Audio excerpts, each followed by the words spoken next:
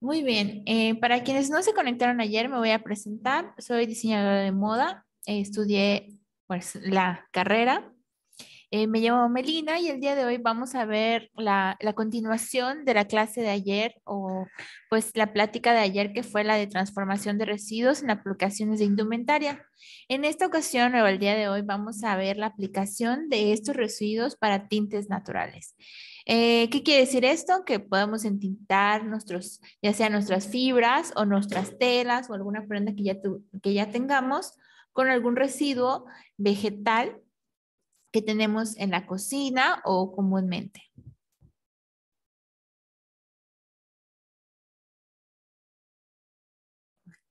Eh, ¿Logran ver mi pantalla? Sí. Correcto. Voy a seguir.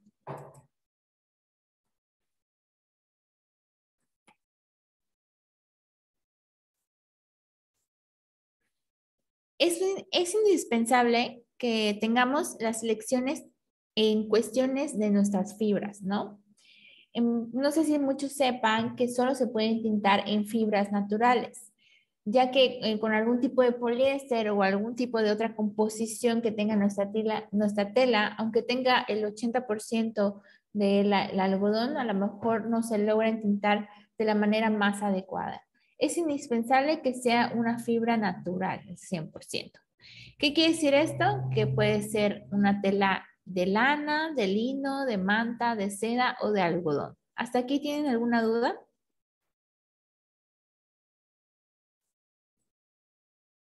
¿Todo bien? Correcto. En las secciones indispensables tenemos que saber que cuando utilicemos una fibra, ¿alguno de aquí trajo alguna fibra? O tenga su tela ya a la mano o logró encontrar o decidir qué tela va a utilizar. Yo voy a utilizar unos pedacitos de tela de algodón y aparte fibra de banano y chambira.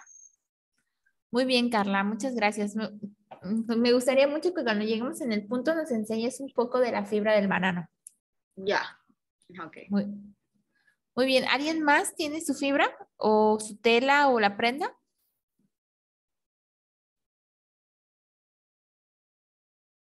¿Nadie? Ok.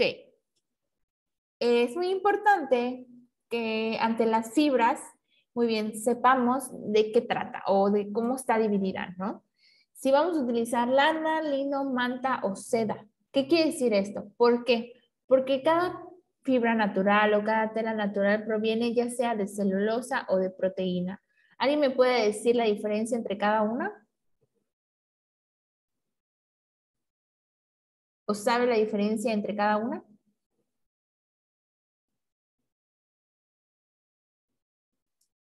No sé si estoy en lo correcto, pero celulosa creo que proviene de fibras vegetales y la, y la proteína de animal. Correcto, muy bien, Carla. Perfecto. Bueno, si les pregunto esto es para que hagamos un poco dinámica esta charla y que, pues, como por ejemplo, Carla, que participa y aplica un poquito de, o, o, se saca de duda al hacer este tipo de interacción, ¿no? Precisamente por eso los pregunto, porque a lo mejor hay personas que sí saben y les gustaría como participar, o si les da pena lo pueden escribir en el chat, pero la idea es que también participen y no solo yo hable, ¿no? Eh, muchas gracias, Carla. El peso. ¿En qué parte vamos a hablar de esto del peso? En esta sección es necesario tener una báscula. Una báscula puede ser una báscula de cocina, ¿no? Yo utilizo una parecida a esta, o puede ser una báscula de precisión que se utiliza mucho para joyería, ¿no? Son un poquito más chiquitas y a, mejor, y a veces, muchas veces es la más adecuada para utilizar en tintes naturales. Eh, si se van a dedicar 100% a esto, eh, si van a comprar una pesa o una báscula, la mejor, perdón, una báscula, lo mejor que compren es una de precisión, porque a veces, muchas veces estas te da un, un peso como generalizado, no te lo da exacto y bueno, pues es, pero estas también son funcionales o las que se parecen a estas. En caso de que algunos de ustedes no tengan por el momento eh, la báscula, no importa, ahorita solo, meramente vamos a hacer una experimentación y pues lo vamos a hacer al tanteo. En alguna de las telas nos los pueden vender por kilos o por metros, pero es muy importante que aunque nos den los gramos en la tienda, porque muchas veces vamos a la tienda y, y pedimos, me da medio kilo de tal tela, porque existe, pues es muy importante que aunque nosotros vayamos a intentar, es importante pesarla en nuestra báscula. ¿Hasta aquí todo bien?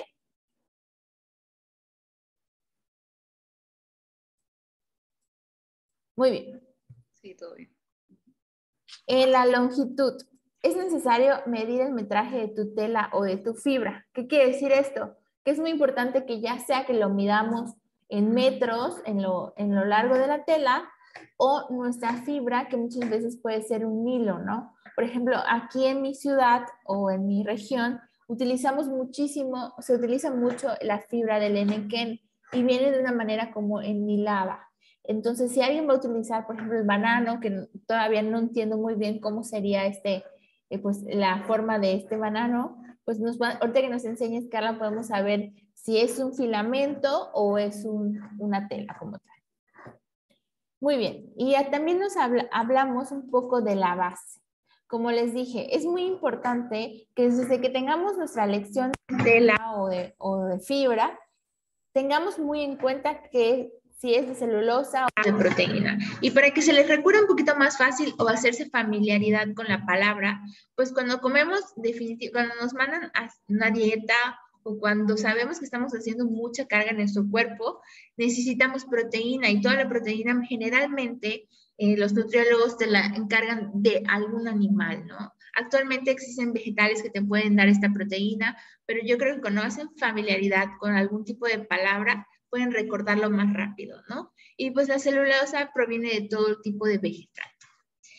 En caso de los residuos de celulosa, la mayoría de estos que tenemos en la cocina, precisamente como hablamos de vegetales, van a ser de celulosa. Entonces, probablemente no necesiten acordarse mucho de las fórmulas que vamos a ver el día de hoy, pero pues aún así se los voy a dejar por si tienen alguna pregunta.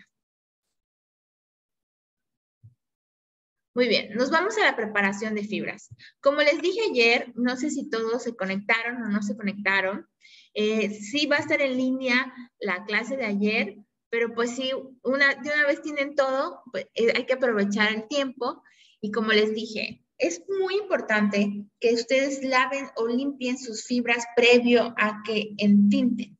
Por ejemplo, si hoy solo van a hacer una experimentación, no importa que no lo hayan lavado, pero es muy importante que tengan el lavado con agua jabonosa, muy buena agua jabonosa, y que de una manera se lave todo previamente a usarse.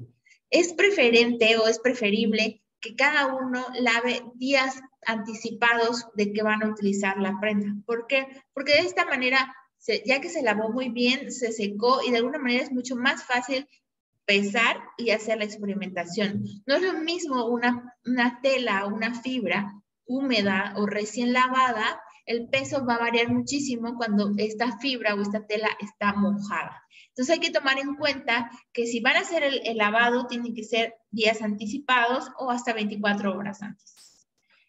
Las, las, otra cosa que es muy importante, las fibras deben estar separadas por tipos. Por ejemplo, Carla el día de hoy nos trajo el banano y nos trajo el algodón. Es muy importante que ella separe estas, estas fibras.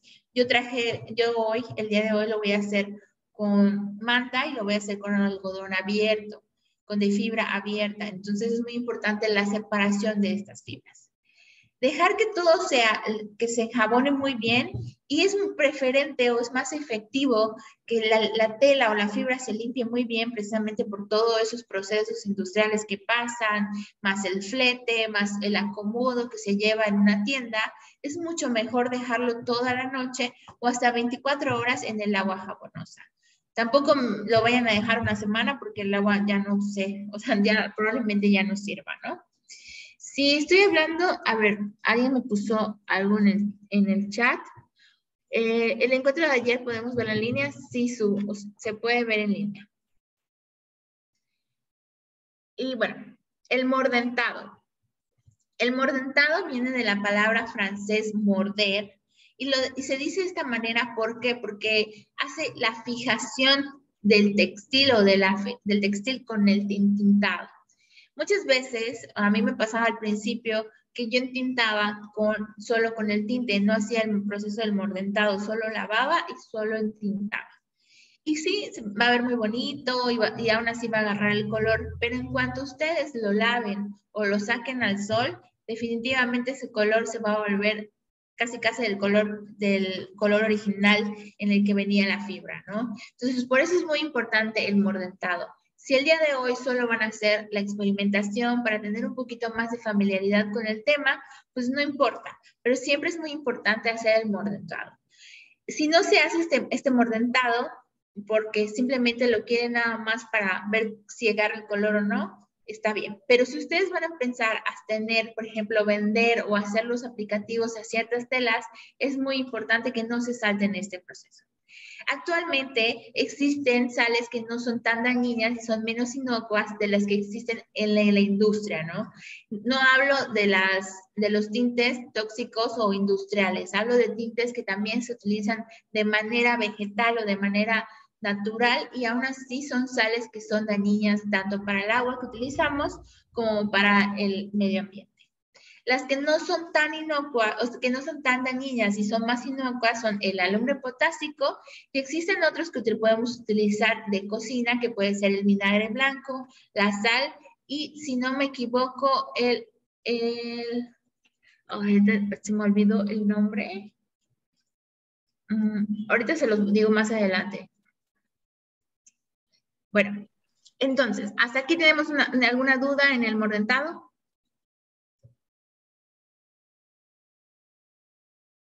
¿Todo bien? Una pregunta. ¿Qué nomás se puede utilizar para un mordentado y por cuántas horas? ¿Cuál sería el tiempo más apropiado para dejar la fibra en, mordentado? ¿Y, qué, y, qué no, ¿Y qué productos nomás utiliza? Ok, el producto, el tiempo, ahorita lo vamos a ver más adelante. Ahorita vamos poco a poco, Carla. Eh, el tiempo, pues, es dependiendo también del metraje y del peso de la tela, que también tienen mucho que ver. Es, es muy importante que sepamos que se pueden hacer los mordentados con muchísimas fórmulas o ponen muchos aditivos diferentes. Sin embargo, el que menos inocuo, por ejemplo, es el alumbre potásico, el ácido cítrico y existe otro, el que se utiliza mucho en la cocina, que por el momento se me fue, pero no muchos lo pueden conseguir, porque muchas veces lo confundimos con el que, eh, el que esponja el pan. Entonces, no se los quise añadir debido a que no lo vamos a necesitar, pero muchas veces se utiliza ese para hacer un tipo de mordentado. Ahorita vamos a hablar un poquito más adelante de este. ¿Sería limón, sal o bicarbonato? Esas tres cosas se, se podría utilizar para el mordentado. ¿Juntas o una, una por cada experimentación? No, no vamos a utilizar ninguna de estas porque, porque o, sea, en este momento no los vamos a utilizar.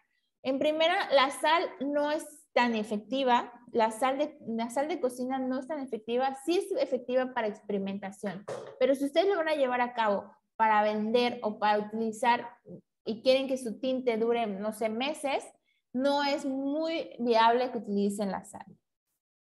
El bicarbonato, lo que sucede con el bicarbonato es que puede cambiar el pH de su tinte. ¿Qué quiere decir eso? Muchas veces el agua que utilizamos para entintar, que es el agua de la llave, el agua del paso, cambia dependiendo del pH de la región en la que se encuentre. Por ejemplo, yo que vivo cerca de la costa, el pH del agua es muy diferente a los que viven en el centro de la República. Entonces hay que tener en cuenta que ahorita vamos a hacer una experimentación muy básica, no nos vamos a ir a, a palabras químicas y a palabras un poco más extensivas, porque ya es algo mucho más extenso. Ahorita vamos a hablar de algo muy básico, que ustedes empiecen a tener como esta interacción con los residuos y empiecen a familiarizarse qué podría ser funcional y qué no podría ser funcional. Muy bien, nos vamos con estos y pasamos a la parte de la fórmula que es muy importante. Para la fórmula y lo que tenemos que aprendernos es que siempre es el 10% del peso de la, de, la, de la, tela o de la tela total o de la fibra total o del hilo, ¿no? Siempre el peso, por ejemplo, si mi tela, no sé, por ejemplo, Carla, si tú pesas tu, tu, tu fibra del banano y resulta que pesa 10 kilos, ¿cuánto crees tú que de alumbre potásico que le vas a añadir?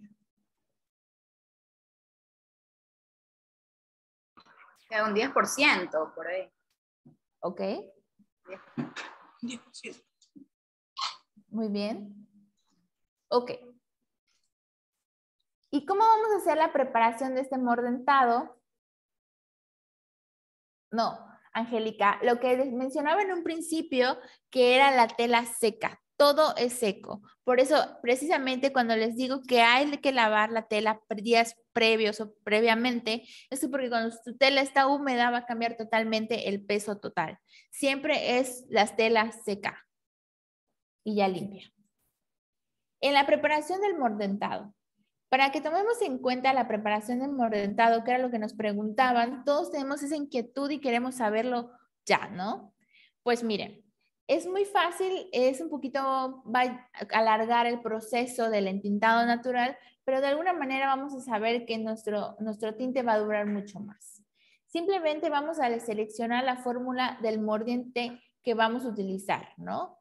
La vamos a hervir y le vamos a dejar unos minutos ahí hasta un momento que se diluya muy bien. ¿Y cómo lo voy a saber? ¿O cómo voy a saber cuando ya está 100% homogéneo? Cuando veamos que ya no hay ningún tipo de residuo en nuestra agua hirviendo. Es muy importante que ustedes no pongan la cara totalmente sobre todo el vapor que va saliendo del agua caliente porque muchas veces o muchas personas son se les irrita muy fácil la cara o los ojos. Entonces, para evitar ese tipo de, problemáticas, lo mejor es hacerlo a cierta distancia, con mucho cuidado y que vayan diluyendo con una palita de madera poco a poco. Una vez que ustedes ya están seguros que ya no tienen ningún residuo, van a añadir sus fibras o sus telas. Muy bien. Recuerden que sus fibras y sus telas en este punto están limpias. Y no va a importar la cantidad del agua, siempre y cuando ustedes puedan tener un movimiento libre con sus telas. ¿Qué quiere decir esto? Que puedan irlo moviendo como tal cual, como si estuvieran haciendo una sopa. ¿Por qué? porque de esta manera van a poder tener eh, todo el entintado o va a quedar toda esa parte del mordentado, perdón, en, el textil, porque muchas veces el textil se arruga y, y, si solo le movemos tantito, ciertas partes que están arrugadas no va a llegar el mordentado al 100%. Entonces lo que tenemos que hacer es que llegue súper bien en, todas las, en toda la tela. Y en este punto, y precisamente por lo que no lo vamos a hacer el día de hoy, es porque se deja calentar una hora o que hierva una hora. Por ejemplo, si alguien tiene una cocina que su estufa calienta muy rápido, lo mejor es que lo tengan a un fuego de bajo a medio. Nunca lo tengan de fuego alto porque lo más probable es que va a ser tanta ebullición que probablemente rebose su agua, ¿no? O su mordentado con el agua. Y cuando ustedes quieran regresar a la hora continua, a lo mejor ya no tienen esa cantidad de mordentado porque ya se pues desbordó, ¿no? Entonces es muy importante que tengamos esto en cuenta y que controlemos mucho el fuego en el agua. No vaya a ser que también se, se les queme todo el agua y no se den cuenta y de alguna manera se queme también su prenda, ¿no? ¿Hasta aquí quedamos claros? ¿Alguien tiene alguna duda de esto?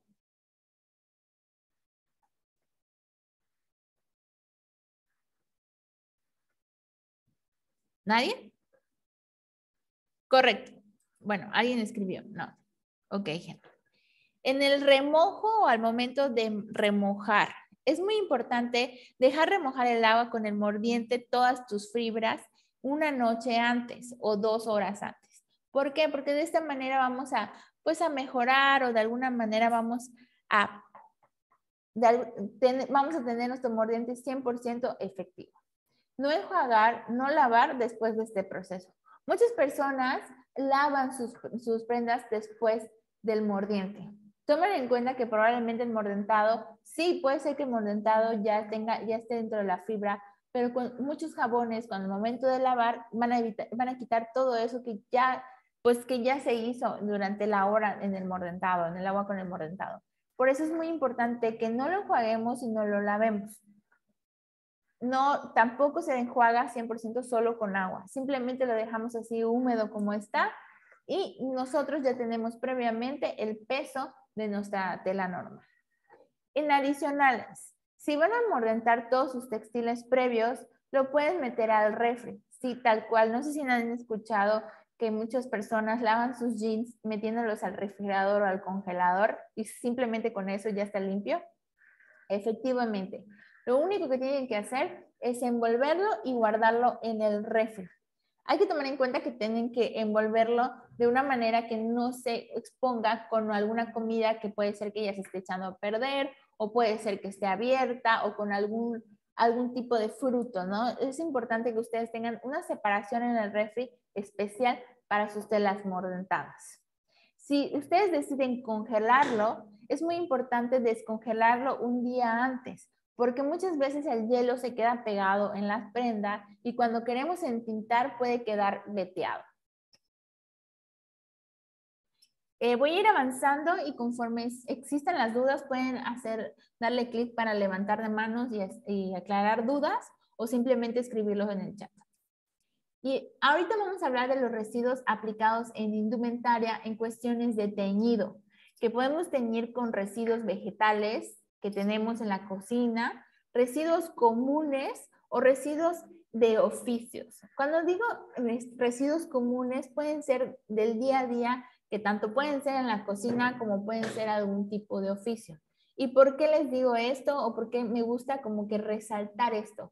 Porque a veces nos centramos tanto en la cocina porque es lo que está de moda, ahorita todo el mundo, cuando fue pandemia, todo el mundo habló de los tintes naturales hechos en casa, de la biofabricación hecho en casa, pero no nos damos cuenta que también tenemos o cerca de nuestra comunidad tenemos oficios que se todos los días trabajan y que generan residuos. Y vamos a ver un ejemplo de ellos. Los residuos más comunes de cocina, al menos en México, es el aguacate, ¿no? Esto es de, o sea, de pilón. Ayer les comentaba que actualmente, pues debido a unos problemas que existen en estos campos porque llegaron a apropiarse de estas zonas, eh, pues ahorita el aguacate es mucho más caro y es un poco, no es tan efectivo encontrarlo que esté bueno, ¿no? Hay que tomar en cuenta que la semilla, tanto como la cáscara de aguacate, es muy importante o tiene mucho que ver la vida que llevó este aguacate. ¿Qué quiere decir esto? Si ustedes recolectaron sus aguacates, que a mí me pasa muy seguido, que me, me, recolectan los aguacates, pero no se lavó o no se limpió previamente bien el aguacate, ¿qué va a pasar? Se va a echar a perder la cáscara. ¿Y qué pasa con esta cáscara que se echó a perder? Pues probablemente un o seres vivientes atacaron esta, esta composta, por así decirlo, o este, porque de alguna manera se biodegrada y empiezan a perder todas las propiedades de pigmentación. No es lo mismo una cáscara limpia, bien lavada, a que una cáscara que ya está casi echándose a perder. aquí, por ejemplo. Esta es una cáscara que no sé si lo logran ver. Lo voy a ver en la cámara.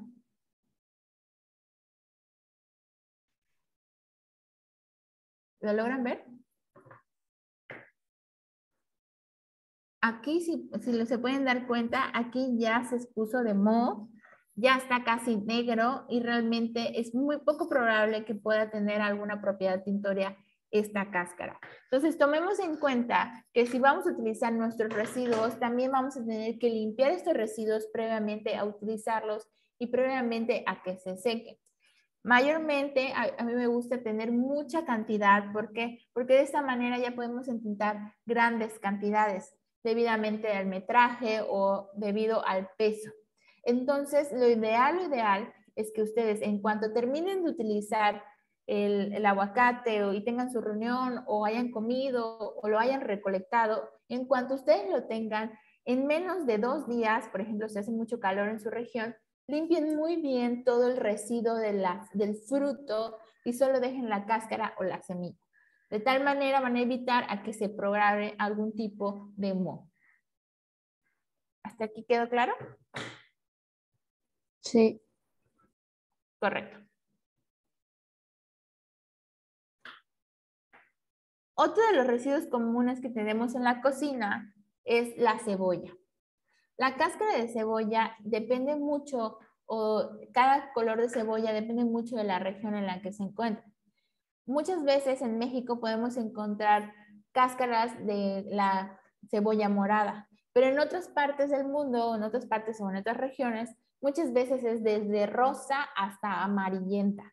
Entonces, si alguien quiere tener, no sé, o se preocupa demasiado por tener una, una cebolla 100% morada, pues ya vamos a quitar o vamos a tener ese proceso 100% como menor impactante, porque si vamos a estar pidiendo cebolla de otra región, probablemente el flete y todo el tiempo que se, todo el tiempo que se llevó a recolectar ese tipo de fruto, pues ya no va a ser tan, tan pues benévolo, ¿no? Entonces lo ideal es que utilicen lo que tienen al alcance, sobre todo lo que tienen en su región y sobre todo lo que la población que queda cerca utiliza o hacen campos de esto. ¿Hasta aquí quedó claro?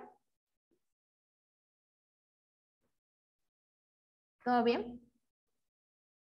Muy bien.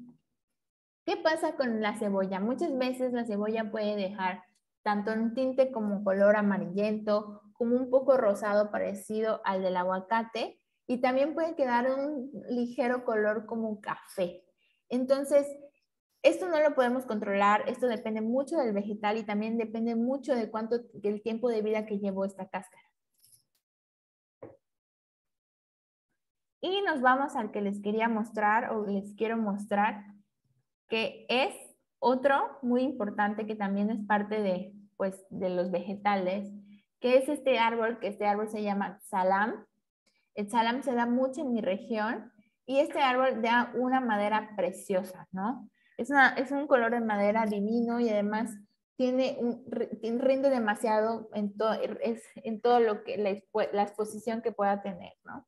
En carpintería se utiliza mucho y sobre todo que no es, sí es costoso, pero no es tan elevado. ¿Por qué? Porque se produce en nuestra misma región. Pero ¿qué pasa, por ejemplo, con todos esos residuos que se generan del salam? Esto es un ejemplo que yo les estoy dando en cuestión de mi región. A lo mejor cada uno tiene a lo mejor una corteza diferente o a lo mejor cada uno tiene algún tipo de producto vegetal diferente.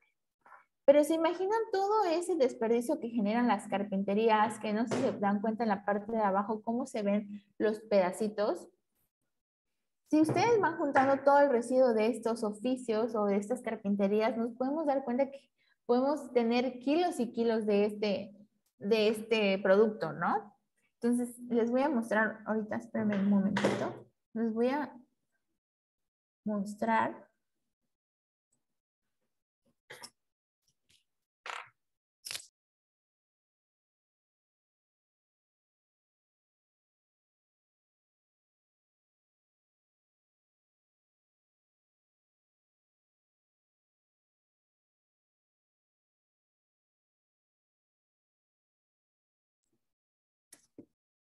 regresé, disculpen. Les voy a mostrar los tintes o el tinte que se logró con este salam. Es un color terracota que a lo mejor no se logra ver a simple vista, pero dejó un color terracota precioso. No sé si se logra ver, aquí hay mucha luz. Y se pudieran hacer unas manipulaciones textiles con este proceso y con este entintado, ¿no? Entonces, se los comparto para que se den cuenta que probablemente lo que menos imaginamos puede teñir, ¿no? No simplemente con lo que tenemos en el hogar, en la cocina, también puede ser algo o puede ser eh, algún tipo de vegetal o corteza que podamos tener cerca de nuestra región. y, y, sobre todo que podamos experimentar con los colores. Por ejemplo, este no quedó tan terracota, quedó un poco veteado, porque lo dejé mucho tiempo en la misma posición, pero generó un color como tipo casi café, café claro, camel, por así decirlo. Y podemos ver que realmente pues es impactante los colores que pueden generar un residuo, ¿no?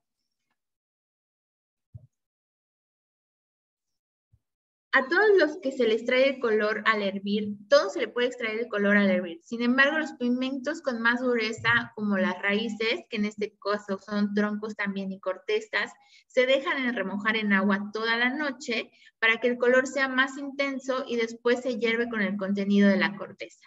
Otro ejemplo que les quiero comentar, que también en mi región se da, no en mi estado, sino en un estado eh, que está junto a nosotros, que es parte de la península de Yucatán, se da este palo tinto de Campeche. Se parece mucho al palo tinto de Brasil, de hecho es de la misma familia, pero para que tengan un poquito en cuenta que cuando utilizamos cortezas, es muy importante que lo dejemos remojar toda la noche previamente antes de hervir. Aquí no lo había hervido y si se dan cuenta cómo se ve un color tan bello, un color como casi rojizo, rosáceo, entonces, como para que también vayan familiarizándose, cuando vayan a experimentar con algún tipo de raíz o corteza, es muy importante extraerlo previamente.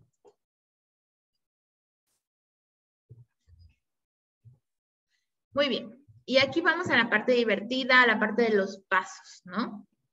El primer paso a hervir para todos los pigmentos de origen vegetal, como los que vamos, vamos a ver el día de hoy, es obtener nuestra propiedad tintoria en líquido, se necesita hervir, ¿no? Y para esto podemos filtrar los, los, pigmentos, sobre todo las cáscaras y las flores. Es necesario filtrarlo todo después de hervir.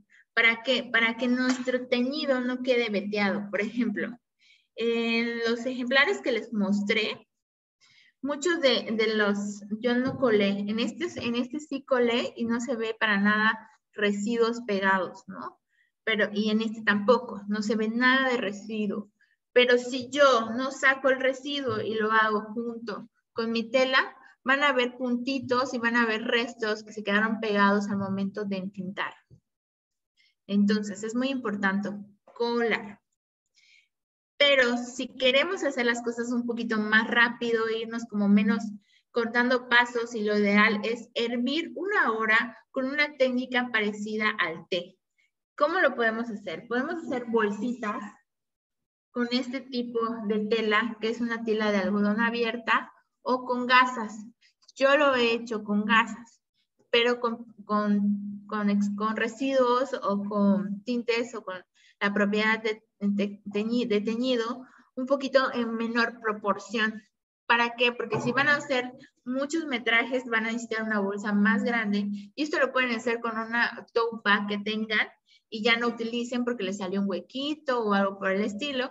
Entonces pueden hacer algún tipo de tote bag como su bolsita para teñir. ¿Para qué? Para que de esta manera todos los pigmentos o todos los residuos se queden dentro de esta capsulita y les puede servir de tal cual como funciona al hacer una bolsa de té. No sé si me estoy dando a entender.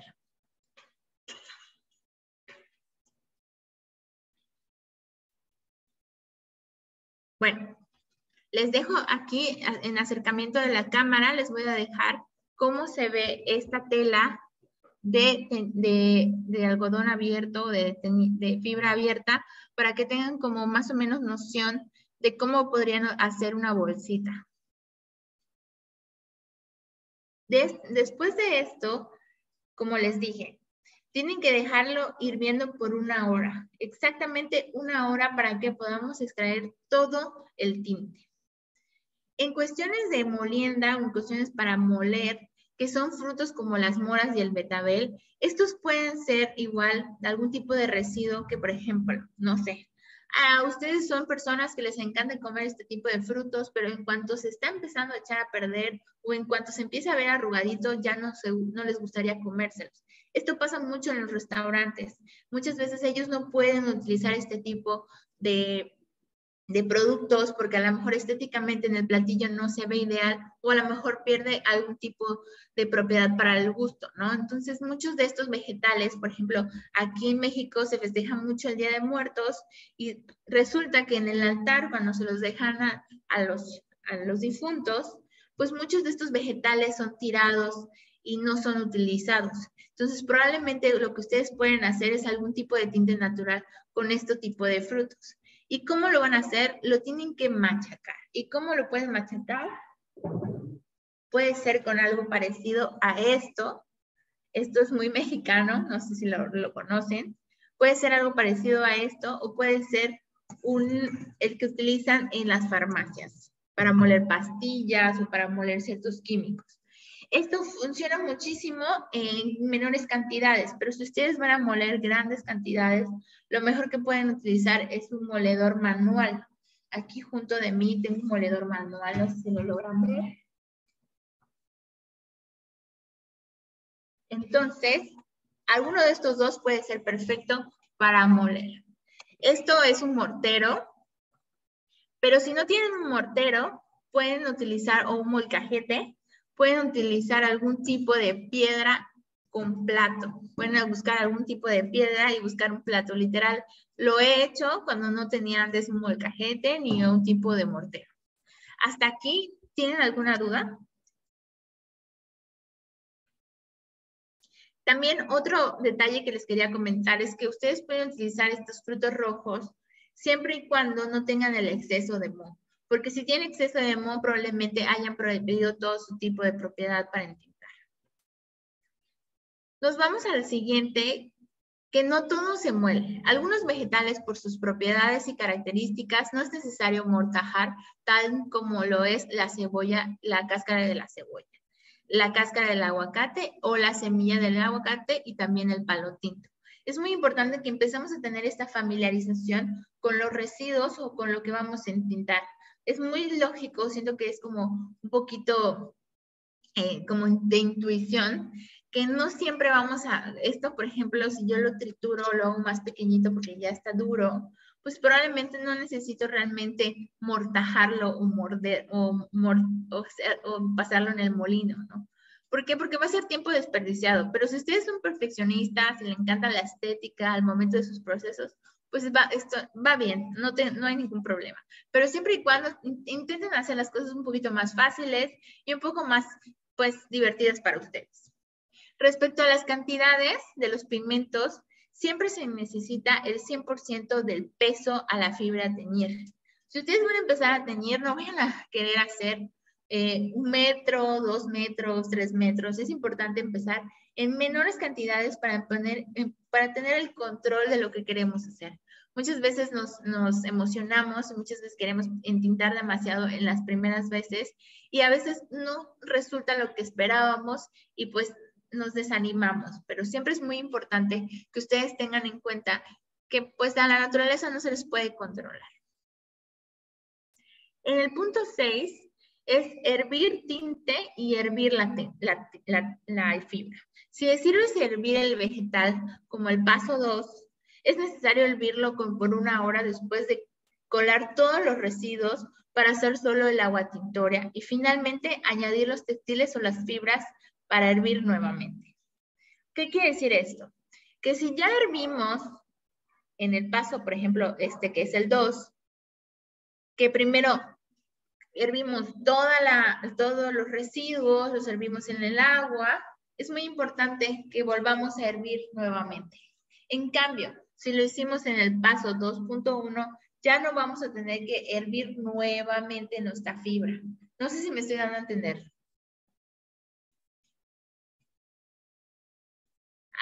Aquí todos, ¿todo bien? Bueno, para el baño de color, el baño de color A será el primer baño que les des a tus fibras.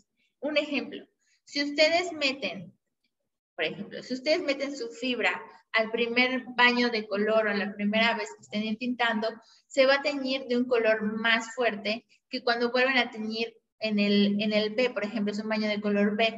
Obviamente, conforme vayan teñiendo, los colores van a ser, tal vez con húmedo se va a ver igual, pero conforme se vaya secando, los baños de color van a ser menos. Es lo mismo que pasa en el cabello. No sé si han, escuchado que a veces vas al baño de color para que tu color del cabello que te teñiste se vuelva un poquito más brillante y de alguna manera más vistoso. Lo mismo pasa con los tintes naturales. Entre más, entre más se entinten con la misma agua o con la misma agua tintoria, menos van a tener cantidad de tinte, o sea, de tinte en su textil. Correcto. Voy, voy paso a paso para que les queden claro y no tengan dudas, pero si sienten que voy como mareándolos, me avisan. Después es muy importante que enjuaguemos solo con agua hasta que deje de entintarse el agua que enjuagas. Me gusta mucho decirles o aclararles que cuando enjuaguen, intenten no hacerlo ni en la cocina ni en el baño, porque se hace un, así, de verdad que se hace un relajo. Lo mejor es que lo hagan donde lavan su ropa. Hay una parte, por ejemplo, aquí en México tenemos una parte que le decimos la batea el batea es el mejor lugar para que ustedes puedan limpiar o lavar muy bien todas sus telas. No necesitan agregar ni jabón, ni shampoo, ni algún tipo de jabón en polvo, simplemente con el agua muy bien. El agua puede ser al tiempo, puede ser el agua del mismo, de la misma temperatura que está saliendo directo de la llave de paso. No olvidemos documentar. Esta es la parte que más siempre cuando, cuando daba clases de tintes naturales, eh, porque hay una extensión de tintes naturales tanto muy básico como lo que vimos hoy, como también con propiedades químicas y con un poquito más avanzado, ¿no? Siempre les digo que es muy importante que documentemos todo lo que hicimos, porque muchas veces agregamos un poquito, un gramito más, un gramito menos, y a lo mejor obtuvimos un color perfecto, deseado, por ejemplo, lo que me pasó con el salam, este, este, este tinte que yo hice con el salán para mí fue el mejor que he hecho y simplemente por detalles como documentar los procesos genera que tú puedas ir pues haciendo más, continuamente este color. A lo mejor en ese momento no lo podemos controlar de todo porque como les dije, todo tiene que ver de lo que vivió ese fruto, lo que vivió la corteza. Muchas veces no tuvieron el mismo tiempo de vida unas semillas de aguacates que una corteza. Entonces ahí, pero conforme vayamos documentando todo, vamos a poder tener más, más control sobre lo que vamos haciendo y sobre todo vamos a tener pues una extensión de currículum súper bonito. Un ejemplo, por ejemplo, aquí les puedo dejar mis tintes, ¿no? Pueden poner el nombre del vegetal, que se llama una cebolla, a lo mejor cebolla morada, a lo mejor cebolla de cocina, el nombre científico, el origen, a lo mejor yo lo compré en el mercado de Chuburná de Mérida, de mi ciudad, ¿no? A lo mejor lo compré en el súper, muchas veces no es lo mismo comprarlo en el súper que comprarlo en el mercado o con la señora de la esquina que vende frutos, entonces siempre es muy importante saber el origen del pigmento, de, de la propiedad tintoria. Los procedimientos que siguieron. Aquí se los dejo muy corto y muy breve, pero para que tengan en cuenta más o menos cómo cómo lo hicieron, ¿no? Se puso a hervir en agua con filtro de gasa por una hora. Y es muy importante que siempre, siempre tomemos foto a lo que hicimos. Porque de alguna manera cuando tomamos foto o cuando además escribimos lo que hicimos, documentamos mentalmente lo que estábamos haciendo y de alguna manera familiarizamos todo lo que estamos generando. Esto me gusta agregarlo mucho para que ustedes no se queden solo con el video, ¿no? Simplemente el, el día de mañana ustedes tengan un poquito más de utilidad con este tipo de documentación. Tenemos también la probabilidad de hacer el teñido datado. No sé si han escuchado en tintes naturales que también se puede hacer el teñido datado.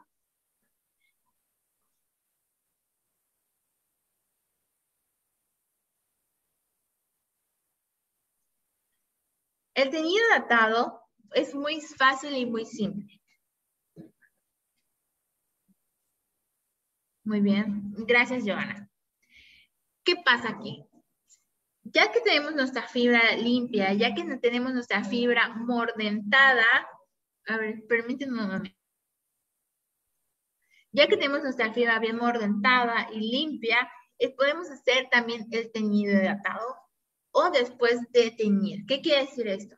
Una vez de que ustedes tuvieron su, su tela teñida o no teñida, cualquiera de los dos, pueden generar, pueden hacer una, un efecto sorpresa, ¿no? Estos factores no dependen muchísimo de ustedes, no lo pueden controlar demasiado, ya que depende mucho de que si se movió la fibra o se movió el, el pedacito de, de, residuo. Entonces, realmente es meramente experimentativo, pero pueden crear patrones súper divertidos y bonitos. La verdad, personalmente, a mí no me gusta pero a mucha gente le, gusta muchísimo toda la parte de los patrones, los colores y toda la unión de, de, estos patrones. Entonces, yo soy un poco más de colores lisos, soy un poquito más de colores neutros, entonces a mí no me llama tanto hacer este tipo de experimentaciones. Sin embargo, se los comparto, ya que es algo que se está utilizando muchísimo, sobre todo con el tema del tie-dye. Entonces yo creo que ir como experimentando un poquito más allá puede ser muy padre, ¿no? Aquí, por ejemplo, les, resumo. En el paso uno, pues como ya les dije, es elegir tu fibra base, ¿no? Puedes elegir ya con tu fibra pintada. En el paso 2 es esparcir los pigmentos. Pueden ser tanto con cáscaras de cebolla como pedacitos de la cáscara de aguacate. O sea, a lo mejor lo cortan de este tamañito y lo van poniendo encima de su tela de esta manera. Lo van añadiendo en la fibra de la tela y así esparciéndolo por todos lados. ¿No? Esto es un ejemplo muy rápido y muy básico.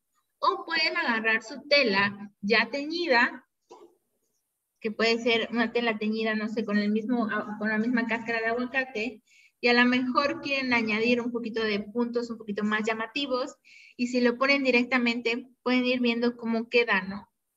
Entonces, esto es meramente un ejemplo. Ya que ustedes hayan decidido cómo, cómo esparcir todos sus residuos durante la tela, pueden ir doblándolo de la manera que ustedes quieran. No hay una regla. Si ustedes saben un poquito de los, de los procesos del shibori, eh, es una manipulación textil muy bonita. Si ustedes tienen un poquito de nociones sobre el shibori, pueden hacer estos aplicativos y de verdad que son, son propuestas muy bonitas. Después de esto, como les dije, después de enrollar de manera diferente, ya sea vertical, horizontal, de una manera que a lo mejor me salga un tie-dye, lo hervimos por una hora y lo seguimos enjuagando con agua. Que quede muy claro que todos con agua, nada con jabón y nada con shampoo. Aquí les dejo un ejemplo de cómo teñir con, los mismos árboles que pueden caerse en la calle o en tu jardín, ¿no? Pueden ir un poquito más allá de solo residuos, también pueden ser residuos de nuestro, de nuestro jardín o del día a día. Entonces, no sé si quedó claro, no sé si tienen aquí algún punto o alguna duda, porque nos vamos a ir manos a la obra, ya que esta parte teórica a lo mejor es un poco tediosa, pero va a ser un poquito más divertida cuando hagamos la parte, pues, práctica.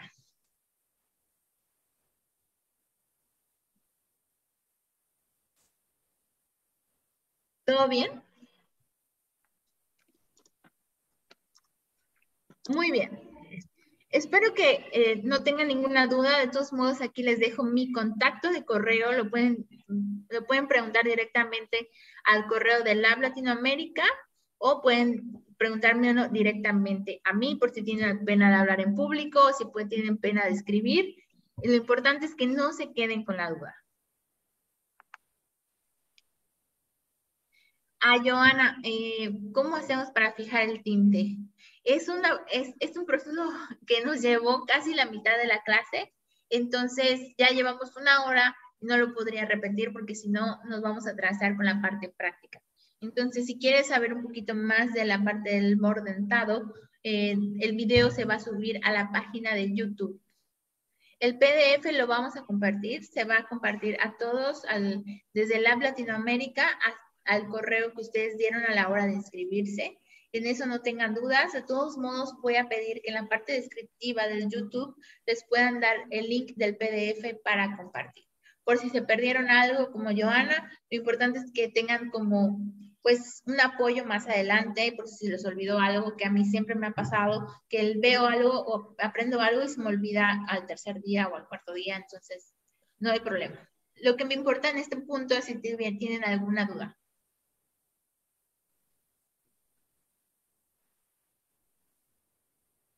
¿Nada? Correcto. Si no tienen dudas, vamos a empezar a la parte práctica. Me gustaría que me digan quién de ustedes, además de Carla, van a, van a hacer la parte práctica, para que tenga un poquito más de noción de quiénes van junto con nosotros y sea un poquito, un poquito, vaya un poquito lento, vaya un poquito más rápido, dependiendo de cuántos sean los que van a hacer la parte práctica. Porque si no son muchos los que van a hacer la práctica, me gustaría que los que sí van a hacer la práctica me muestren qué tipo de textiles trajeron o tienen a la mano para hacer la clase.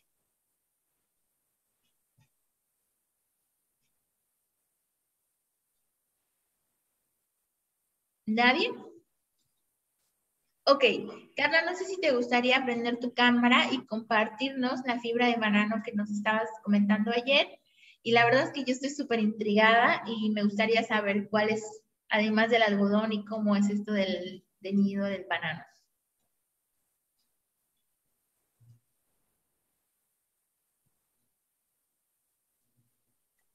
Hola, hola.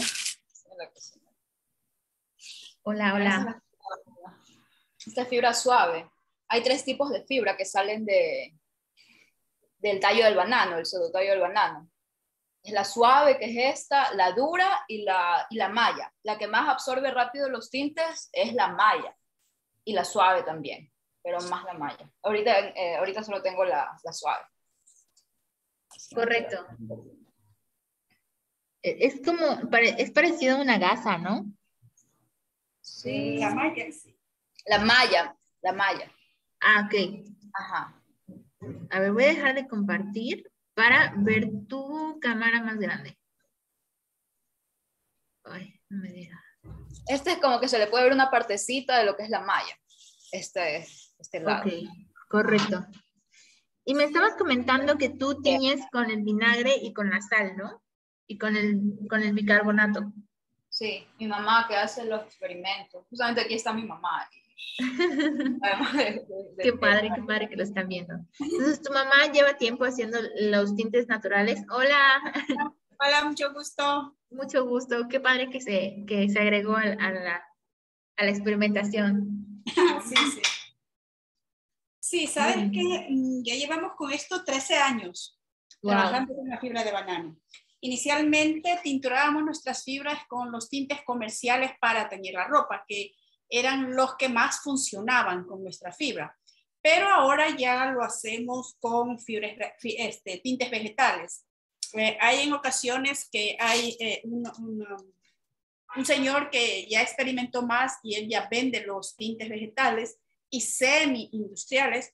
Y también nosotros lo hacemos con los residuos, como te decía, con la cáscara del aguacate, con las frutillas, con, con, lo que se nos viene a la mano y, y, vamos probando qué tonalidades nos dan, porque de por sí la fibra de banano nos da eh, diversidad de tonos tierra, mira, no sé si lo puedes ver ahí. Entonces son, varios tonos tierra, desde uno bien claro, en la, misma, en la misma hebra nos da este otro que es más intenso, hasta un color, eh, eh, mira, por ejemplo acá en la punta lo tiene bien, bien más oscuro, más tirado al chocolate. Entonces, este, jugamos nosotros con todas esas tonalidades. Y obviamente la fibra que ya eh, en el proceso nos queda más clara, pues esa la aprovechamos para utilizar este, los tintes vegetales y darles un colorido a nuestras piezas.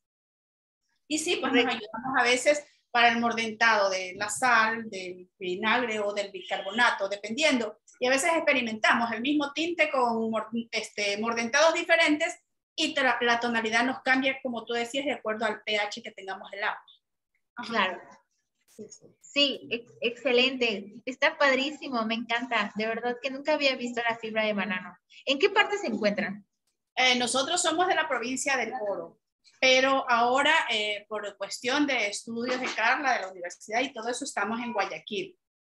Entonces, pero aquí en todo el Ecuador tenemos plantaciones de musácea, sea de banano, de plátano, de diferentes tipos de banano. Entonces, en todo lado tú encuentras eh, eh, la materia prima para procesarla, por así decirlo, ¿no? Entonces, por ese lado no tenemos problemas. E inclusive pudimos ir este, hasta compartir esto que nosotros hacemos a, Centroamérica, a la universidad, a la ED. Entonces, capacitamos también allá ah, sobre el manejo de, de las fibras de banano. Está increíble, me encanta. No sé por qué me estoy imaginando en este momento este, bolsas, sombreros con la fibra del banano. Eso se Sí, ah, qué increíble, qué padre. Ayer me pasaron el contacto y no pude localizarlas porque se cerró, no pudimos relocalizar este, pero me encantaría que en la parte descriptiva del video podamos compartir su trabajo, estaría excelente. Sí, ayer, ayer Carla les compartió nuestra, nuestra página ya les vuelve a, compartir para que vean sí, hacemos desde un sombrero, porque la idea nuestra es eh, que también compren un sombrero en fibra de banano como identidad nuestra. Porque nosotros somos uno de los principales exporta productores y exportadores de banano al mundo. Entonces, ¿por qué no ponernos en nuestra cabeza un sombrero hecho con fibra de banano? Y hecho por mujeres en todo caso, ¿no? Excelente. Somos mujeres las que trabajamos estas artesanías, más mujeres. Qué increíble, de verdad, está padrísimo, me encanta. Está increíble. Muchas felicidades y qué padre que en familia hagan este, este, este, este, emprendimiento y sobre todo que, pues, que tengan las riquezas de, sus de su localidad, ¿no? De su región. Sí. Pues esperemos que esta forma de mordentar, que en este caso eh, son inocuos, de alguna manera no tienen algún tipo de daño, pero, de alguna, pero son diferentes formas de mordentar. Definitivamente podemos mordentar con muchísimas, de muchísimas formas. También existe, por ejemplo, el cremor tártaro, que era el que se me había olvidado mencionar, y ahorita ya se me lo recordé. El cremor tártaro también se puede utilizar para las fibras proteicas, pero muchas veces hay personas que agregan un 5% del peso. Entonces, pueden empezar con eso, lo voy a escribir, el cremor tártaro. Sirve también para la parte de repostería. Entonces, si no lo encuentran en alguna botánica, que aquí es en farmacias, en botánicos, también lo pueden encontrar en, lugares de, repostería. Entonces, es muy, es, es muy variable el, el, mordentado, pero los que a mí me han funcionado son los que yo les estoy dejando. Entonces, si les funciona excelente, estaría padrísimo que puedan experimentar y que nos cuenten sus, pues todo lo que vivieron con este, con este experimento. Pues voy a empezar con algo muy básico. Hoy vamos a hacer algo de verdad que muy básico, pero con todo lo que ya les dije, les dije de la parte teórica, que probablemente les lleve hasta una semana lograr hacer todo el intentado o tres días, es, es mejor como que tener todo, todo bien documentado previamente y que ustedes ya tengan o tengan noción de cómo se hace. Y a lo mejor esta parte experimentativa es muy sencilla, pero les va a llevar a cabo de cuál es el proceso, ¿no? Estas telas que yo hoy tengo aquí eh, son, ya están secas, ya están limpias, están secas por completo, ¿no? Y como les dije, es muy importante que nosotros, voy a hacer esto para acá. Bueno, no logran ver, me avisan, porque eh, solo tengo la cámara de la, de la compu y no sé si se logre ver todo, pero lo voy a hacer de una manera que logren ustedes ver lo que se pueda. Y ahorita lo que voy a hacer es voy a hacer el peso, ¿no? Voy a prender y voy a empezar a añadir mis fibras. Mis fibras de manta, aquí tiene un hilo, las voy a añadir y van a ser por separado. Muy bien. Aquí tengo mis, y aquí me dice que pesa 12 gramos. Entonces, mi 10% va a ser 1.2 gramos, ¿correcto? De mi mordentado. Entonces, si yo voy a hacerlo con el algodón, que ya esto es por separado, me dice que son 9. ¿Y cuánto tiene que ser? Vamos a redondearlo y vamos a hacer que sea un gramo de mi mordentado. ¿Hasta aquí tienen alguna duda? ¿Todo bien? Entonces, recordemos que es el 10%. Ok, que ustedes no, confían con el 10%, recuerden que puede ser del 10 al 20 o 25%.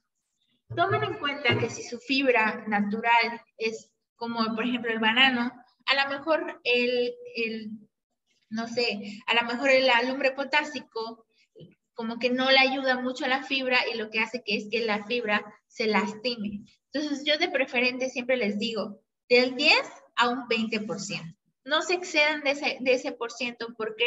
Porque se puede dañar su fibra. Entonces, aquí quedamos claros y aquí todo bien, ¿correcto? Voy a conectar la estufa eléctrica. Ahorita, por el momento lo voy a hacer en estufa eléctrica hay quienes lo hacen en la estufa normal y por ejemplo, aquí en mi región eh, se hace también a la leña o al carbón, porque es mucho más fácil teñir grandes cantidades. Hay una marca que se llama Caravana y ellos entintan en un poblado que se llama Valladolid en ollas enormes a la leña, pero ellos como exportan tanto a otros países como al, al centro de la República estas prendas de tintes naturales de Yucatán, pues lo que hacen son ollas enormes para pesos enormes, pero obviamente ellos ya tienen una historia atrás de este tipo de tinta. Entonces voy a conectar mi estufa. Me da un poquito de miedo por la lap, pero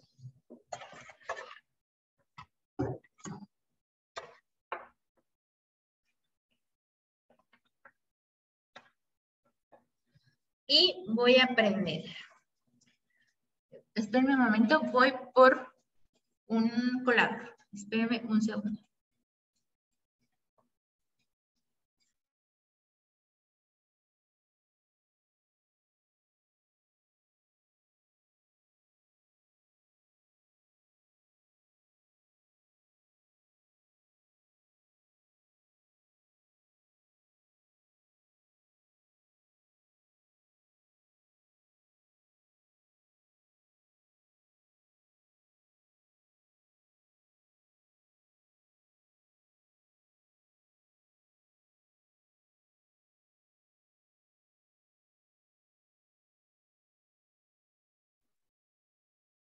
Muy bien, ya regresé.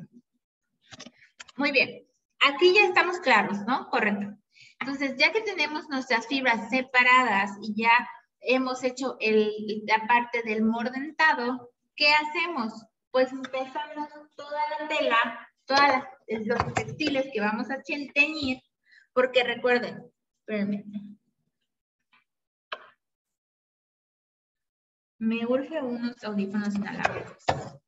Bueno, Recuerden que para separamos las telas para el mordentado porque vamos a necesitar, dependiendo de nuestra fibra y dependiendo del peso, mordentamos dependiendo del peso de cada tipo de fibra. Sin embargo, cuando ustedes vayan a entintar en el tinte natural, van a pesar todas sus fibras. Es un ejemplo, a lo mejor no logran ver todo, pero lo que podamos ver. Y aquí nos dice que pesa 26 gramos, ¿correcto? Si pesa 26 gramos nuestras fibras, ¿cuánto tiene que pesar nuestra propiedad tintoria o nuestro residuo? ¿Alguien me puede contestar esto?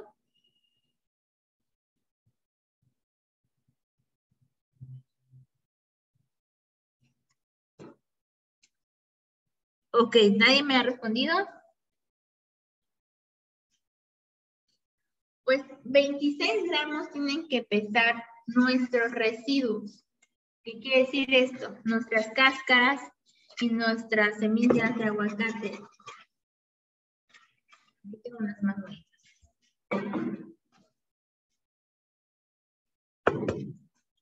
Entonces aquí apenas pesa 10. A lo mejor si le agregamos otra semilla y más cáscara, va a pesar más más cáscara, la semilla.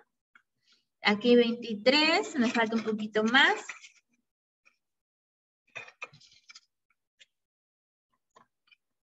¿25?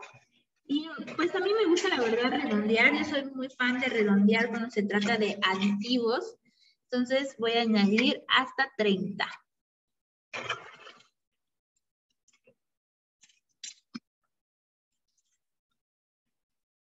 Bueno, aquí se pasó por la semilla de aguacate. Entonces, lo voy a dejar en este peso. Lo voy a dejar en 45. Lo importante es que sepan que no puede ser la menor cantidad de lo que pesa su, su, por ejemplo, su propiedad. ¿Qué quiere decir esto? No puede pesar menos de 27 de lo que pesa totalmente la prenda o la tela o los teñidos. ¿Por qué? Sí, el 10% es para la cantidad de mordentado, este, Jaime. Hoy no, ahorita no vamos a hacer mordentado porque nos llevaría muchísimo tiempo y solo tenemos dos horas. Yo se los mostré o se los enseñé de forma teórica para que lo puedan aplicar más adelante. Ahorita vamos a hacer solo la parte del teñido. Entonces, Nos quedábamos que nuestro textil, todos nuestros textiles en total, pesan en total 26, ¿no? 26 gramos. Y nuestra propiedad tintoria, que en este caso es el, todo el desperdicio del aguacate, que yo tengo un montón, estos tengo como cinco de estos por, por aquí en mi casa, entonces tienen que pesar el del 100% un poquito más. A mí me gusta siempre redondear o lo que, o lo que me lleve. Por ejemplo, ahorita una cáscara de una, solo una semilla de aguacate hizo que pesara más, ¿no? Pero pues no tengo problema con eso porque yo luego los corto. Me gusta cortarlos un poquito como a, la mitad y a la otra mitad y de la otra mitad, que quede una, en una partícula un poquito más pequeñita. Entonces, de esta manera como que va, puedes extraer toda la parte de la propiedad. No lo voy a cortar en este momento porque me lleva muchísimo tiempo cortarlo, pero si se fijan, eh, cuando vean mi presentación se van a dar cuenta que la cáscara, la semilla de aguacate están cortadas en varias partes. Entonces, ¿cómo le pueden hacer? Ya sea que puedan agarrar un exprimidor o un cortador de nueces, cortan la, la semilla del aguacate y lo van a dividir en varias partes y lo pueden ir cortando. ¿Cuándo me funciona mucho más? Cuando estoy lavando este aguacate. Si no, si yo siempre, yo siempre ando con prisas, entonces no siempre lo hago, lo hago siempre cuando ya voy a intentar previamente.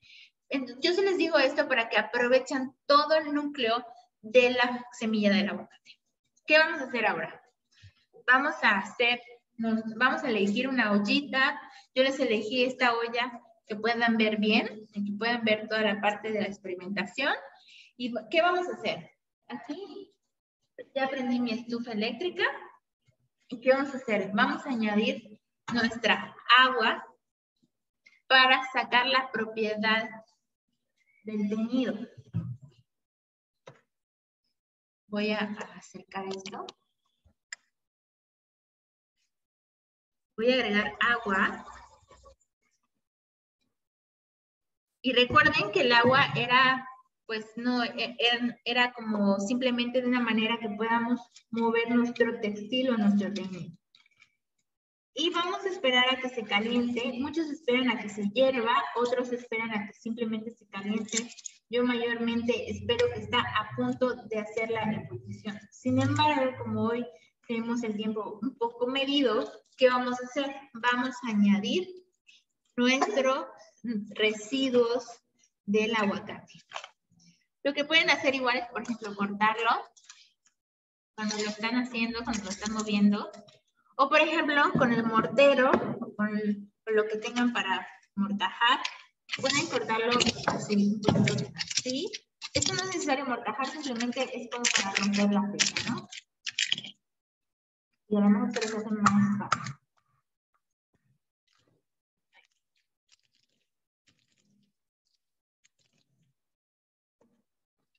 sale volando un poquito y lo van cortando.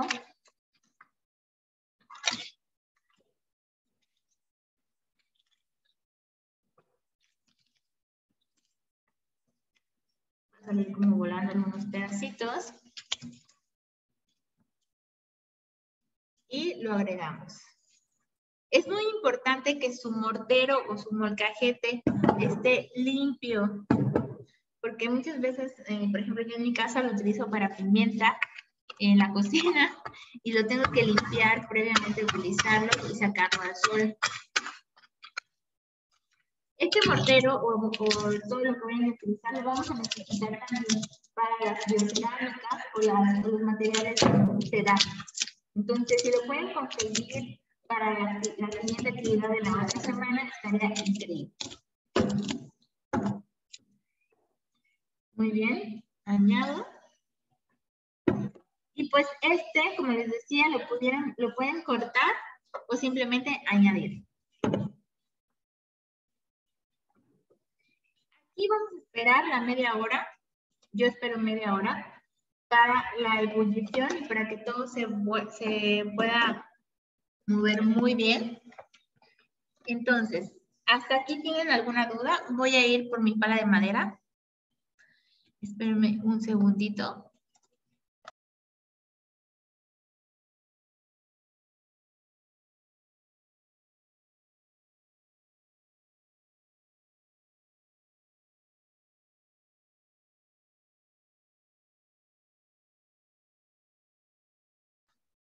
Para, mis, para los tintes naturales, mucho de lo que utilizo para la biofabricación son palas de madera de este tipo, de este tipo o de este tipo. Y a veces solo para mover utilizo los palitos chinos que vienen dentro de la comida. A veces he pedido sushi y no sé si les han llegado estos palillos. Muchas veces los lavo y los reciclo. Por ejemplo, este está ya usado, pero pues realmente siento que se puede volver a usar. Entonces, los utilizo, los utilizo hasta que de verdad ya no den más. Entonces, intenten aprovechar todo lo que tengan a la mano. Entonces, van moviendo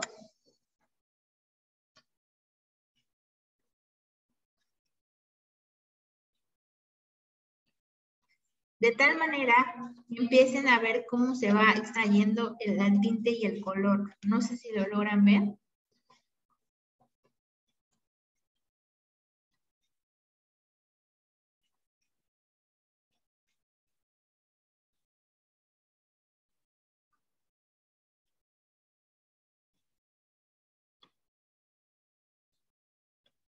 Aquí le voy a bajar un poquito al fuego o al calor del, de esta estufa eléctrica. Y es muy importante que para la ebullición estemos controlando siempre el calor, porque a veces puede pasarse y puede empezar a, como les dije, a desbordarse, o pero simplemente tener como el control o estar ahí fijados. Si ustedes no van a estar todo el tiempo pegados a su, a su estufa, es muy importante que lo dejen a un fuego lento.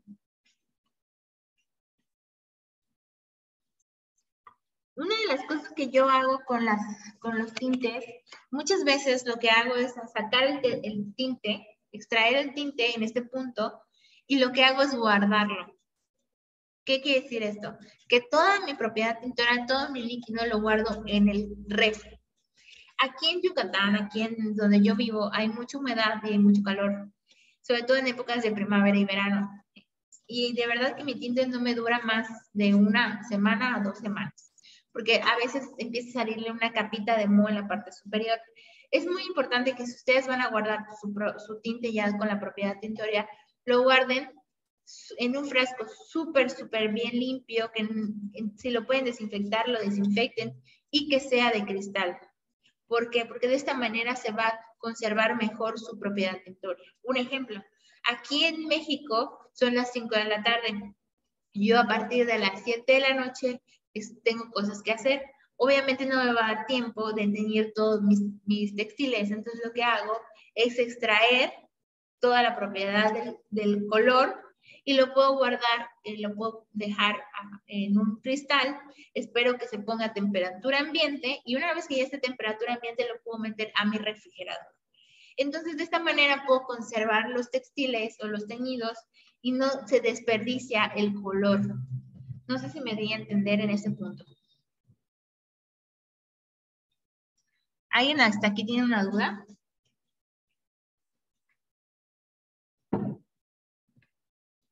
Muy bien. Yo no hice en bolsita como el punto 2.1, no sé si se acordaban, que les dije. Y mucho de lo que van a tener que hacer antes de meter sus teñidos es colar. A mí me gusta colar con este tipo de, coladores. Se dan cuenta, ya tiene muchísimo tiempo y tengo como residuos aquí de la, del aguacate. A mí me gusta colar con este tipo de coladores de metálicos, porque los plásticos duran menos, definitivamente, sobre todo si van a estar ahí moliendo más adelante en las cerámicas, se van a dar cuenta que vamos a necesitar moler encima del, del, pues de la parte del metal o, del plástico y de preferencia si van a comprar uno, cómprense uno de metal. De preferencia porque el metal es mucho más fácil de lavar, eh, puedes exponerlo al calor, por ejemplo. Una de las cosas que yo hago muchísimo es agarrar el, calor y sacar. Agarrar el calor y sacar, ¿no? Entonces, les recomiendo que si se van a, si van a encontrar o si van a buscar algún tipo de material de colador, que sea de preferencia de metal.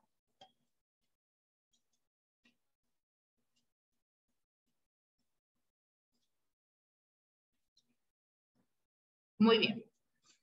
En este punto, ya se dan cuenta, ya nuestro tinte está sacando humo, está como sacando fueguito, humo, eh, vapor. Todavía nos, nos falta un tiempo más, aproximadamente, como les dije, es de una hora a media hora. Por ejemplo, un poquito y solo lo voy a dejar media hora. Pero por el tiempo probablemente no más voy a esperar a que suelte un poquito más la propiedad tintoria. Voy a, quitar todo el residuo, voy a hacer toda la parte del residuo y vamos a pintar nuestro textil.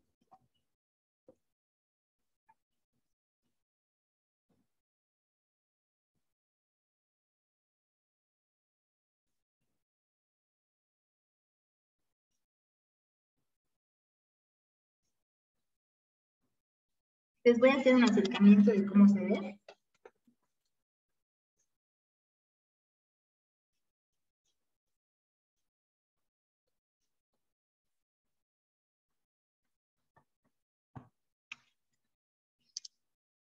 Y voy a seguir moviendo.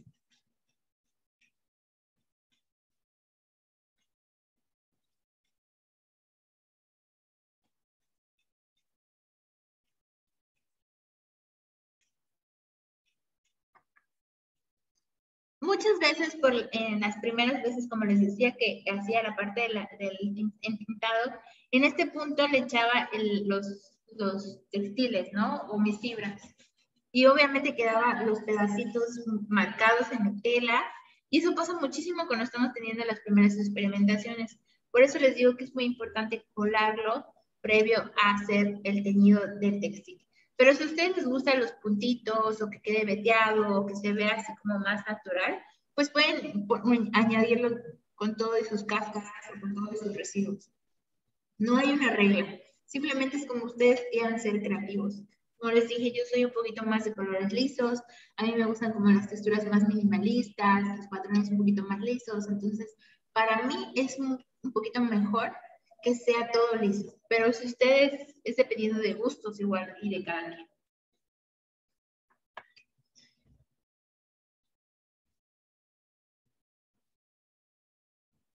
Aquí ya está empezando a soltar el color.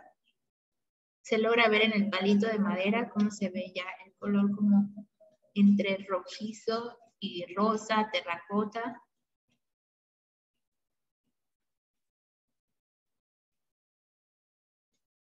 A lo mejor este es el proceso un poquito más lento que todos los demás. Los demás que vamos a hacer eh, con los otros residuos va a ser un poquito más rápido, va a ser un poquito más dinámico. Este es un poquito más lento, pero definitivamente yo creo que es a lo mejor el que a, la mayoría les va a salir. Si son primerizos con la parte de todo el tema de la biofabricación. Pero si ya tienen tema o si ya están como que adentrados a estos temas, igual y se les hace súper fácil, por ejemplo, como Carla y la mamá de Carla, yo creo que esto se les va a hacer así como pan comido. Pero para los demás igual y se les hace un poquito más, porque es tener muchísima paciencia. Vamos a esperar cinco minutos más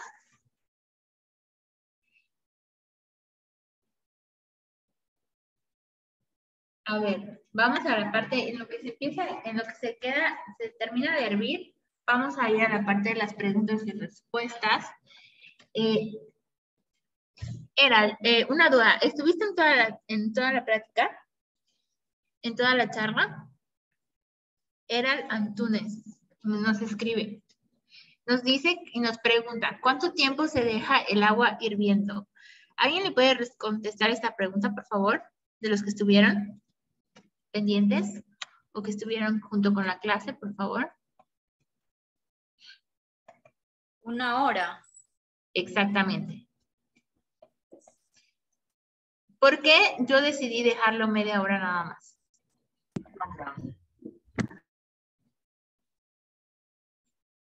Porque es muy poquito.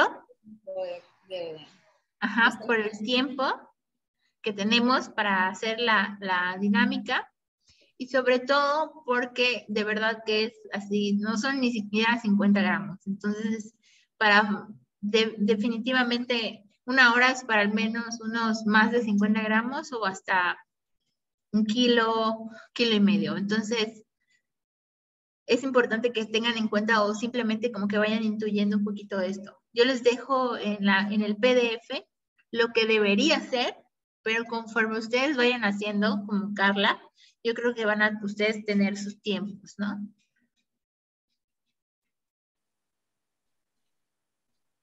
Muy bien.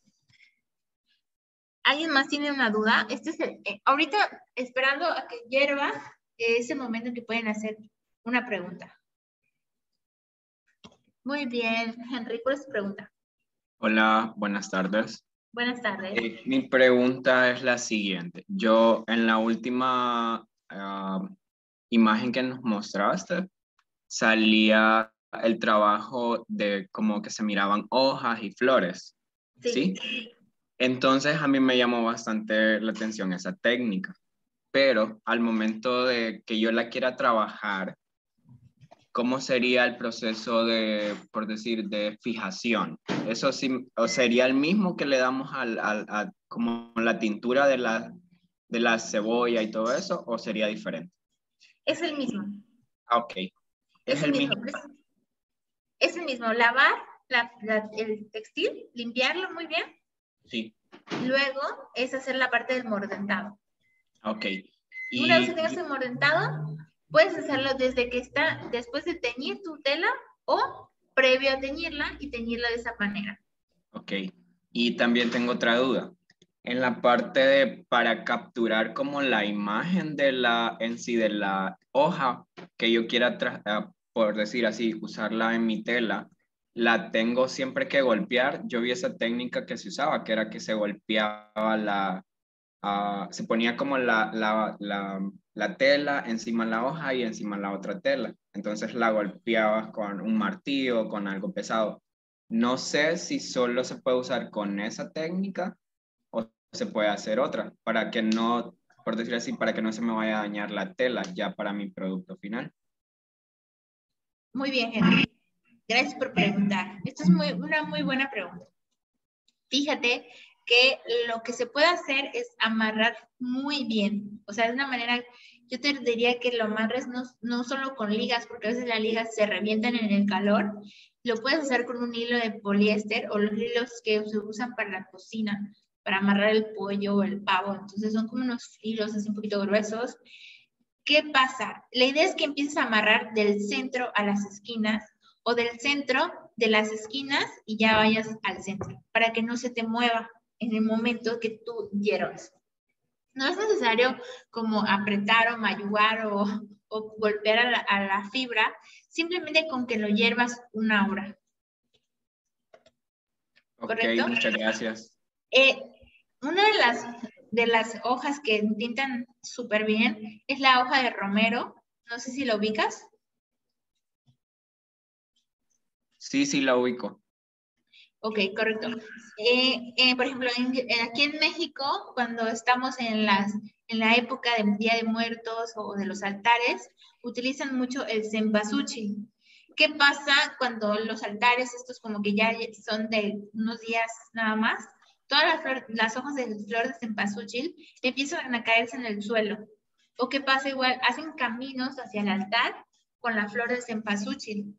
Entonces, estos mismos residuos nos pueden servir para ese tipo de, por ejemplo, de pigmento o también se puede servir para una propiedad tintoria. Esto lo digo por si en su región también se da el cempasúchil. Lo que pasa aquí en México es que lo utilizan especialmente para esas fechas y se da muchísimo en esa época del año. Ok. Eh, pues aquí yo soy de la región de Honduras, Latinoamérica. Entonces, pues aquí yo estuve haciendo la semana pasada ah, frescos de Jamaica, entonces me gustaría saber si con ese puedo también, o sea, con la rosa, con la flor, no sé si con esa puedo usarla. Más que todo creo que esa me serviría más ah, para solo sacar un texto, o sea, como el tinte, creo. O también la puedo usar para dejar como la, el estampado. Eh, las rosas eh, no dejan, el, no sé, bueno, a mí no me ha dejado una propiedad tintoria bastante como llamativa, por así decirlo, o que perdure. Ok. Pero hay personas que sí lo han logrado. Como tú dices, también depende mucho de la región de la cual existe este vegetal. Yo digo que lo experimentes de las dos formas. Ok. Sí, entonces voy a probar. Creo que eh, en ese va a ser lo que vamos a hacer ahorita en el proyecto. Creo que con ese voy a probar para ver qué tal me queda. Correcto. Y poderles compartir ya después el resultado. Muchas gracias. Genial. Muchas gracias, Henry, por participar. Muy bien. ¿Alguien más tiene otra pregunta? Este es el momento de preguntas y respuestas, entonces aproveche.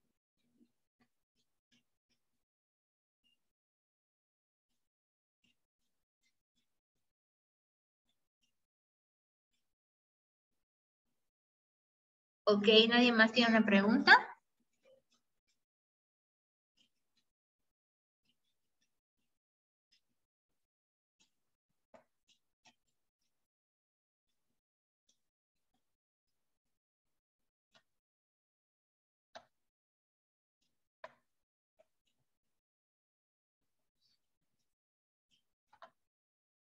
Estoy viendo el link que nos, que nos compartió Carla. Lo voy a guardar antes de que lo pierda.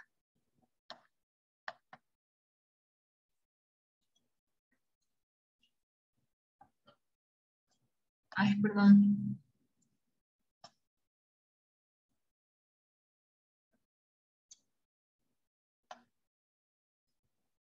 Muy bien. A ver, tenemos otro mensaje. Eh, era, eh, no sé si no estuviste en el principio de la, de la, de la charla, comentamos que el proceso del mordentado no lo vamos a ver por el tiempo y precisamente porque se tiene que hacer muchas horas de anticipación. Sin embargo, en el PDF y en la parte que hemos visto teórica, hemos explicado cómo va a ser el proceso del mordentado y vas a poderlo ver en la página de YouTube. Sí, de hecho lo acabo de abrir y como que saturó mi computadora.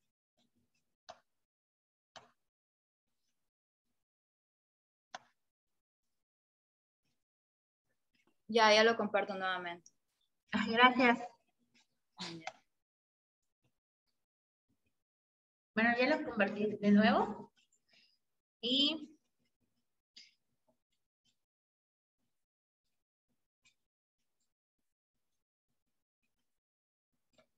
Ya, ahí se los mandé por el chat. Gracias. Ya.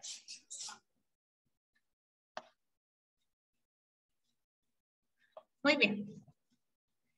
En lo que se, en lo que piensan alguna otra pregunta o alguna otra duda, vamos a hacer nuestra, extra, nuestra extracción del tinte de una manera como rápida, sobre todo para comenzando. Entonces lo que yo voy a hacer es sacar todo el residuo. Lo puedo hacer en un plato, plato aparte. En este momento solo tengo el este a, a mano. Entonces, ¿qué pueden hacer? Pueden sacarlo de manera así como lo estoy haciendo. Con el colador. O pueden tener un colador más grande. En este momento no tengo un colador más grande. ¿Y qué pasa? Pueden vaciar esto mismo en, una, en otra olla, pero colándolo.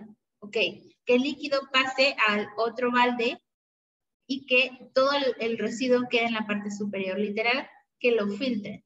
¿Por qué lo estoy haciendo así? Porque necesitaría calentar otra vez en otra olla todo y como quiero aprovechar que ahorita mi olla está caliente. Entonces voy a quitar todo lo que pueda.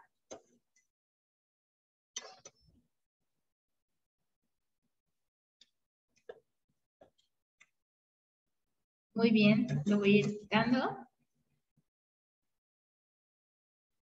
Y ahorita me acerco un poquito para que, y prendo la luz para que puedan ver, no sé si ya se oscureció, pero según yo ya se está oscureciendo, y puedan ver un poquito de cómo se ve el agua ya en tintoria, ¿no? Es muy, divertido cuando estamos en este punto, porque a veces, muchas veces, el agua se ve de un color y a la hora del, del que esté secado nuestro tinte, se ve otro color completamente. Eso me pasa mucho con la, con el, con la hoja de Jamaica. El hoja, la hoja de Jamaica nunca, nunca he podido controlar bien el tinte. Es como muy volátil, o no sé cómo podría decir, el, la propiedad historia de la Jamaica. Pero hay personas que veo que sí les funciona y pues está padrísimo, pero yo no lo he logrado.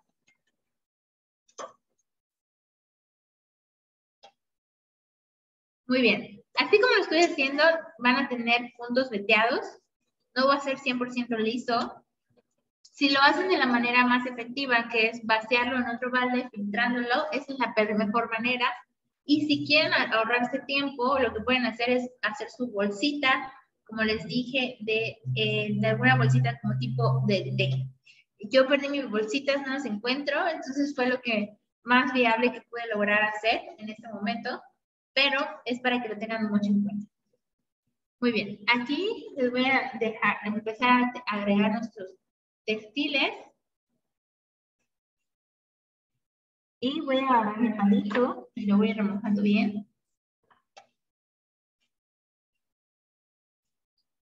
Que se empape todo muy bien y que se vaya mojando todo. Y voy a añadir mi otro, mi otro textil.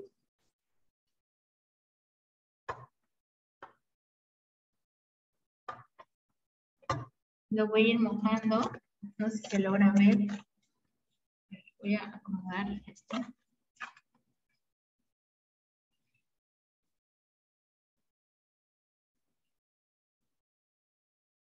Se está moviendo mi tela al mismo tiempo que se está empapando todo. Precisamente como elegí una olla plana para que ustedes puedan ver, es un poquito más difícil que se empape todo, ya que en la superficie como que dejan espacios vacíos del entintado. De preferencia, intenten, o de preferencia es mucho mejor utilizar una olla cóncava, que tenga más fondo que plano, porque de esta manera sus textiles se van a poder remojar muy bien.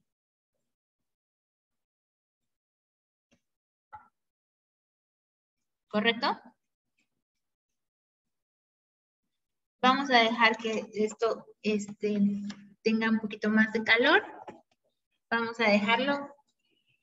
Eh, ¿Qué pasa en este punto? Eh, en este punto vamos a tener que dejarlo otra vez más tiempo. Eh, yo lo dejaría porque es muy poquito, media hora más, pero lo ideal sería una hora, ¿correcto? no nos va a dar tiempo de ver cómo queda. Sin embargo, cuando nos veamos la próxima semana, van a poder ver cómo quedó mis resultados. Es, sería muy padre que para, el próximo, para la próxima clase y para el próximo transformación de residuo puedan, tener ustedes sus ejemplares. Por ejemplo, Carla, Carla, que ya tiene un poquito más de noción y familiaridad con los tintes naturales, estaría muy padre que nos diga cuál fue la diferencia o cuál, cuál fue que siente, cómo siente su mordentado a diferencia del que vimos hoy, al que ella utiliza normalmente. Sería muy padre que la mayoría o los que puedan, o Henry, nos diga un poquito de cómo estuvo su experimentación durante esta semana, ya que tienen unos buenos días para hacer la experimentación.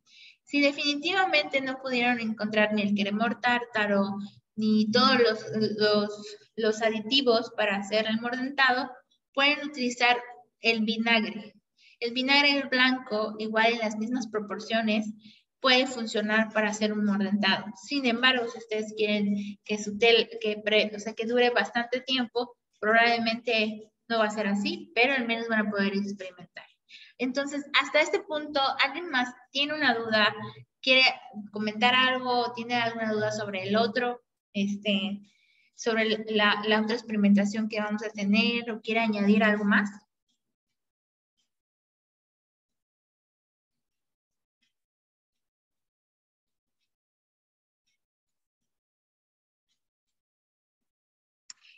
El PDF creo que sí les va a llegar por email. Eh, yo no soy la organizadora del evento, soy expositora, pero probablemente o veré que les manden por correo el PDF. Si no, de todos modos, cuando suban el, el video a YouTube, van a tener eh, el apoyo en el link de abajo, en la parte descriptiva.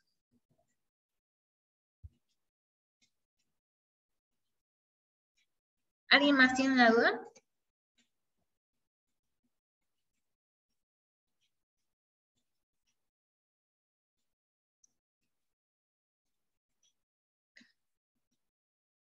Ok, chiques, si nadie más tiene una duda, eh, la idea era que tengan muchas más dudas, eh, que tengamos este tiempo que quedaba pues para resolver las, las, las, siguientes dudas, pero si nadie más tiene nada que añadir o alguien no tiene alguna como inquietud por conocer otro tipo de residuo, pues se los voy a dejar para que lo comenten en la próxima clase. Es muy importante que la próxima vez que nos veamos, ustedes me platiquen si se les ocurrió algún tipo de desperdicio, además de los que ya les dije. Entonces, sería muy padre que ustedes puedan como pensar o a lo mejor como informarse un poquito de cuáles podrían funcionar. Entonces, nos vemos hasta la próxima clase o la próxima, la próxima visita en este link. Y muchísimas gracias por conectarse, muchísimas gracias por el interés que tienen en crear innovación textil con menos impacto al medio ambiente. Nos estamos viendo, chicos. Hasta luego. Adiós, muchas gracias. Hasta luego. Chao. Gracias, mamá.